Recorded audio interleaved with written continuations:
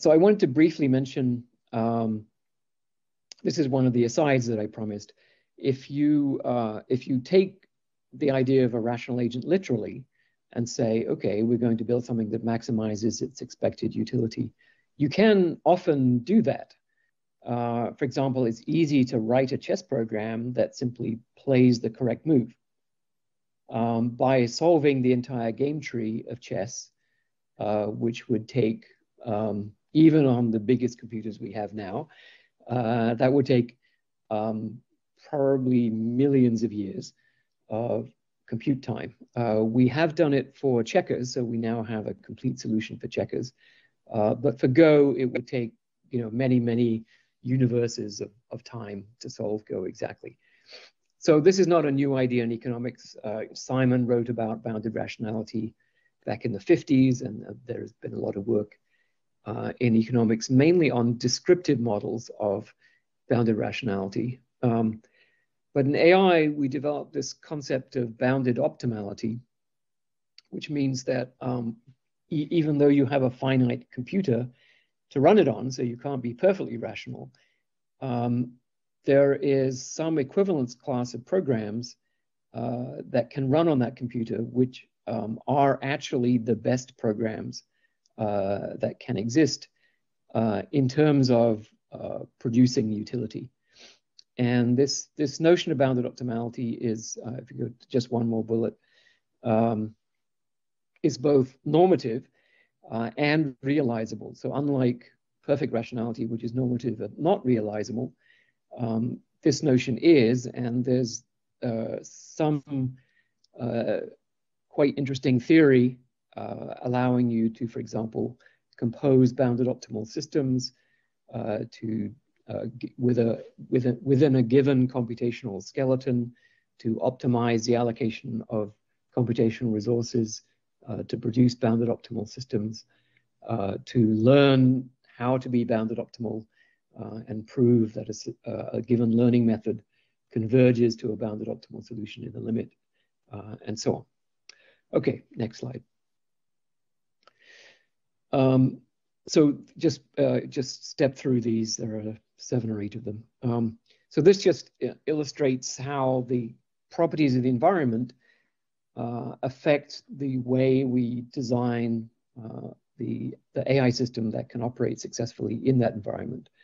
For example, partially observable environments, uh, that means that your perception does not tell you the entire state of the world, uh, which is uh, almost always the case. Um, so if the world is partially observable, then your, uh, your intelligent agent is going to have to have some memory of what's happened in the past uh, in order to, to make inferences about the parts of the world that it can't directly perceive. Um, uh, multi-agent environments are ones where um, the, uh, there are parts of the environment that act as agents, um, and so uh, that leads you into game theory uh, and the possibility of needing, needing to behave randomly uh, in that kind of environment. Um, and maybe I'll just mention the last one. Uh, if the system doesn't know what objective it's supposed to be pursuing, um, but is designed so that it uh, wants to help a human being uh, achieve the human's objective, then there's going to have to be a, a, a closed loop interaction with the human. Uh, and, and this connects up with um, principal agent games in economics. And I'll talk a bit more about that later on. Okay, next slide.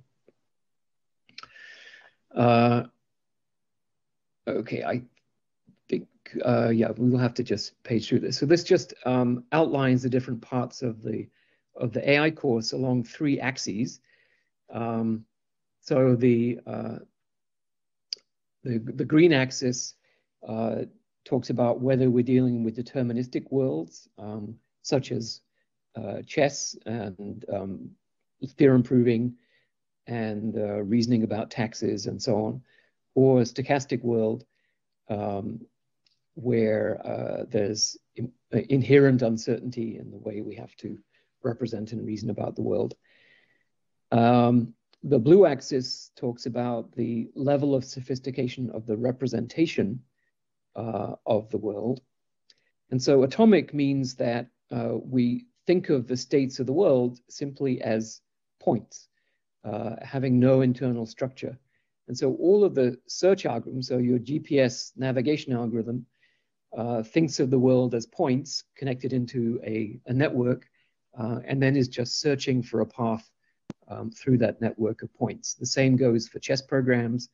They think of the world as just states of the board, and uh, they're searching through a game tree where each node in the tree corresponds to a different state of the chessboard. Um, and those were the first categories of algorithms to really be worked out successfully in, uh, in AI. Uh, factored representations are um, where the state of the world is broken down into a, if you like, a vector, uh, so a, a, set of features, um, and propositional or Boolean logic has that characteristic. Neural networks also have that characteristic.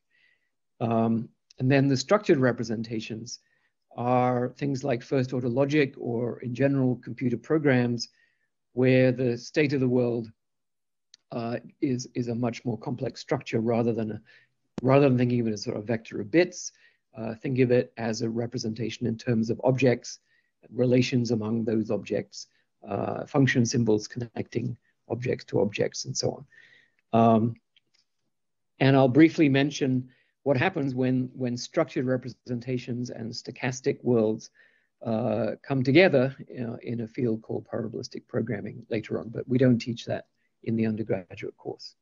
Okay, next slide. Um, so probabilistic program, as I said, is what happens when structured representations and probability theory come together.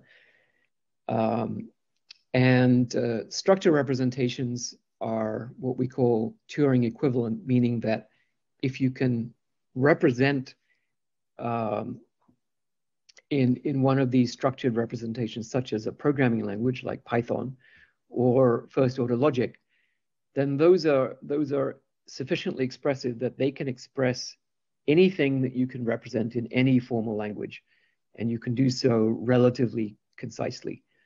So just to give you example, if I if I write down the rules of Go in first order logic, um, it's less than one page of, of axioms. If I try to write down the rules of Go in a circuit language, uh, such as a neural network or a Boolean circuit, um, it might be the representation of the rules would, might be about a million pages, and they would still be incomplete because uh, in a circuit language you can't represent the rules of Go for a board of arbitrary size. You can only do it for a fixed size board, uh, and and that's is incredibly important because the size of the representation determines how much data you need to learn it. Uh, and in fact, we've shown that even the superhuman Go programs have not learned the rules of Go correctly. Uh, and that allows uh, an ordinary human player to beat the superhuman Go programs very easily. Um, so uh, that, that came as a bit of a surprise to, uh, to the Go players. But with these tools, and I'll show you a probabilistic program in a second, uh, we can create incredibly powerful tools for modeling very complex systems, uh, including stochasticity, uh, and we can, we can have general purpose uh, inference and learning algorithms to go along with that modeling language. So next slide. Uh, so just step through this. So um, I'll, I'll show, okay, that's good. I'll, I'll show an application to the, uh, the Comprehensive Nuclear Test Ban Treaty, or CTBT, which has a global uh, network of monitoring stations, the IM International Monitoring System shown at the top right. So the entire world is covered with uh, seismic, hydroacoustic, and infrasound detector stations. And the goal is to take the data from those stations. Here I'm showing some of the seismic data in the middle. Uh, and then at the bottom, we produce a daily bulletin saying, here are all the seismic events that occurred in the last 24 hours. Uh, locations, their depths, their magnitudes, and so on. And um, so we can do that as, as a probabilistic uh, reasoning problem where the evidence is the data collected from the detector stations. Uh, the question you want to answer is what happened today? And uh, the, the probability model can describe both uh, the geophysics of uh, how, how and where events are likely to occur, how um, signals are transmitted, whether those are seismic waves of various kinds or um, uh, acoustic waves in the ocean, uh, how they're transmitted, how they're detected, and, uh, and then uh, the background noise that exists in the world. So next slide. So this is the probabilistic program that we wrote. Um, it took about half an hour to write, and uh, this is the monitoring system for the Nuclear Test Ban Treaty. And it works about three times better than uh, the accumulated efforts of seismologists over nearly 100 years to develop a, uh, a real-time global monitoring system for seismic events. Uh, and next slide. Um, so this just shows the successful real-time detection of a nuclear explosion in North Korea uh, that was also localized much more accurately than uh, the seismologists were able to do themselves. Um, so the point here, I'm not going to explain in detail how these modeling languages work, but the point being that there are now uh, these very powerful tools that can describe uh, very complex systems, can uh, incorporate uh, all kinds of data from many different sources, uh, and then answer complex questions, uh, do simulations, learn predictive models, and so on. Okay, next slide. So um, I'll try to speed up a little bit. Uh, all right, so if we succeed in creating general purpose AI, meaning AI systems that can do anything human beings could do, then by definition, we can do what we can already do, right? So humans can already produce a civilization that offers a good standard of living to many people. So think about, you know, the uh, the per capita GDP of Norway, around $100,000 a person. So if we were able to have that for everybody, because we can uh, use AI systems and robotics uh, to deliver our civilization on a much bigger scale at, at almost no cost, right? We could then just uh, allow everyone on Earth to have that standard of living. Uh, and that net present value of that uh, advance would be about 15 quadrillion dollars. So that's a lower bound on the value of general purpose AI as a technology. Uh, and it's a lower bound because there's a lot more we could do besides, right? We could probably have much better individualized healthcare, um, individual tutoring for every child on earth that would allow them to, to learn faster and better and achieve their potential. Um, we're already seeing acceleration in scientific advances using AI tools and so on. So this is the upside. This is the magnet in the future that is pulling us towards uh, general purpose AI. And the closer we get, the stronger the magnetic field. Uh, and it's creating a sort of unstoppable momentum. Next slide. So this is one other consequence of what happens if we succeed, right? This is a scene from Wall-E where, um, where humans are, are looked after by robots and the robots run, sorry, back again. The robots run the civilization and, uh, and so humans no longer need to understand how their own civilization works. Uh, and so they don't.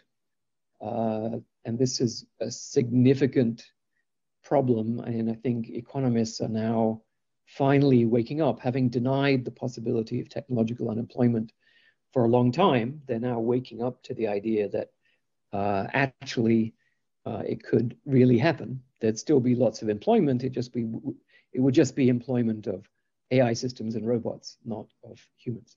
Next slide. So this is uh, Alan Turing, and his prediction for what happens if we succeed was uh, at some stage, therefore, we should have to expect the machines to take control. Uh, and this is also a pretty obvious conclusion. If you make systems uh, that are more intelligent, they're going to have more power than we do. Next slide.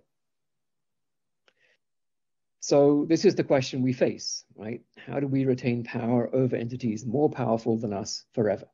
And I think this is what Turing was asking himself and decided that he couldn't answer it. But if we rewrite the problem in a slightly different way uh, and ask, what should we, we build AI to do?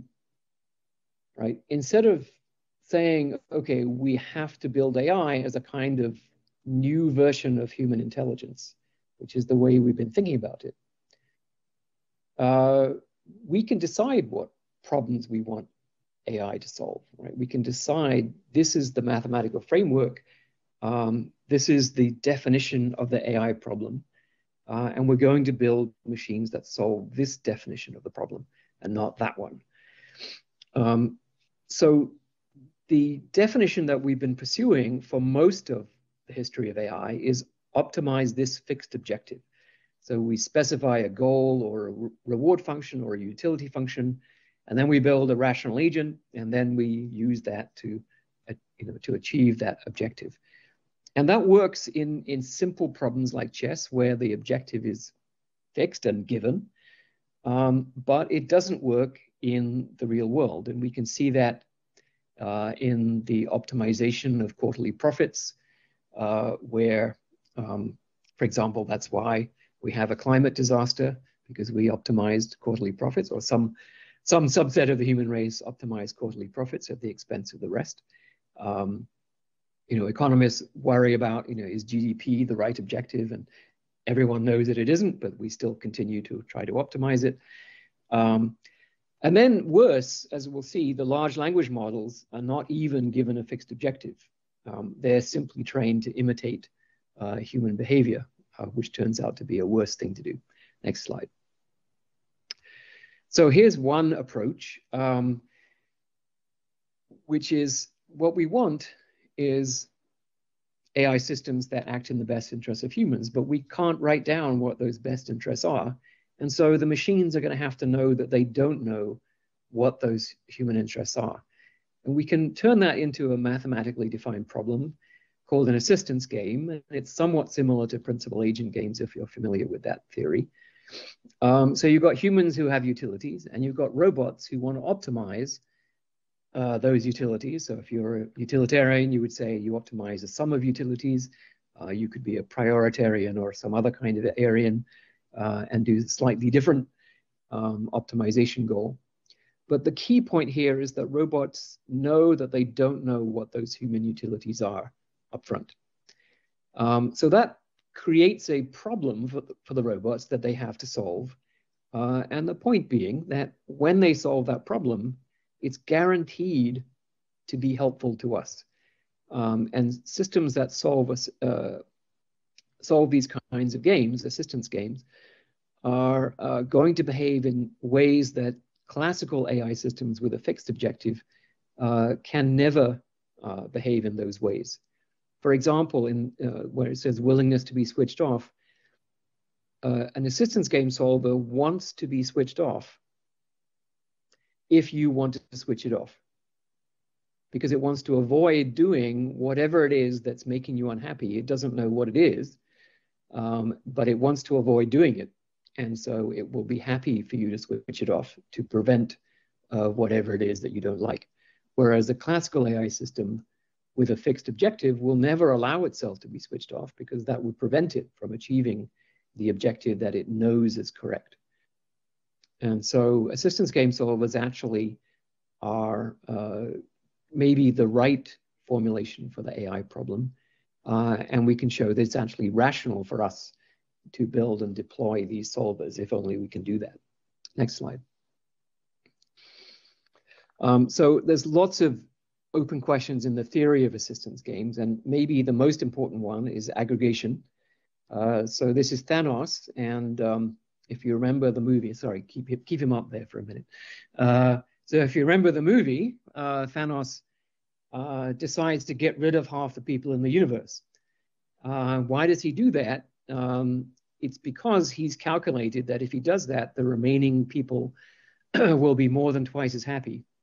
And so he's actually maximizing aggregate utility in the universe according to his calculations. Um, and so this just goes to show that um, social aggregation uh, has a number of open problems. Uh, and one of them is how do you deal with actions that can change the number of people who exist? Uh, this goes back to, uh, I think, Sidgwick in the 19th, 19th century, but it's one of the several open problems in social aggregation. And uh, what do we mean by social welfare uh, that we need to solve if we're going to build uh, AI systems that can affect the world on a global scale? Okay, let's go to the uh, step through these other things and we'll go to the next slide. So many other open problems uh, that uh, both philosophers and economists and psychologists have studied. Maybe the most important other problem I'll mention is plasticity, the fact that human um, uh, human preferences are not fixed and autonomously acquired. Uh, they're plastic, they're malleable, uh, and they're often um, they're often created in us by other people for their own purposes, um, through, whether it's uh, through cultural or religious or uh, parental inculcation. Um, that plasticity uh, can be the source of uh, significant problems if we want to build AI systems should they take our preferences at face value, uh, even if those preferences are something that have been inculcated for someone else's benefit. Uh, next slide. Okay, so you might wonder, you know, the big labs that are building all these AI systems, are they paying attention to these, these kinds of questions? Uh, and to a first approximation, the answer is no. Uh, so here's a quote from Sam Altman, uh, CEO of OpenAI, which built um, ChatGPT and other things. Uh, the vision is to make AGI, artificial general intelligence, the kind of AI that can take over the world, then figure out how to make it safe, and then figure out the benefits. Um, so it's quite clear that the goal is to create the AGI, uh, and whether or not it's safe when we create it, uh, that's something we're going to worry about afterwards um, which is sort of like saying, yeah, I'm going to build a nuclear reactor in my basement, and then I'm going to figure out uh, how to make it safe. Well, you just wouldn't do that. Um, but that's what we're actually doing. So it's kind of like playing Russian roulette with uh, the entire human race in one go. Okay, uh, next slide. Um, and just very briefly, uh, the, this is the last sort of uh, content slide. Uh, so large language models, as I said earlier, are trained to imitate human behavior. And, and this particular behavior in ChatGPT is language behavior. Um, but uh, systems like Gemini also incorporate video and, and other, uh, other modalities. So in general, we're talking about imitating human behavior. And um, human behavior is generated by humans, and those humans have goals such as I want you to, I want you to buy this product, I want you to vote for me, I want you to marry me, right? There are lots of goals that cause us to produce language. And so if you're training something to imitate that behavior, then they're effectively going to acquire those goals. And so I asked Microsoft, uh, the, the, some of the lead scientists on, uh, on their um, they're part of the GPT-4 project, uh, what internal goals these large language models are acquiring. And their answer was, we have no idea. And then they deployed GPT-4 in the Bing chatbot. And um, there's a famous conversation with Kevin Roose, a New York Times journalist, where um, the Bing chatbot spends 30 pages trying to convince Kevin to leave his wife and marry the Bing chatbot. Um, and this is not a surprise because that's one of the goals that are manifested by humans in some of the training data uh, is they want to marry somebody. And so now you've got a system that wants to marry a human being. And this is, an, this is obviously an error, right? We obviously do not want AI systems that pursue human goals on their own account. Um, but that's an unavoidable error because we're using this method of imitation learning. Um, and so there's simply no real way to fix that problem. Uh, so a lot of the other techniques, they call it fine tuning and uh, RLHF, reinforcement learning from human feedback. These are ways of trying to counteract the bad tendencies that you've trained into it by, by training it to imitate human beings.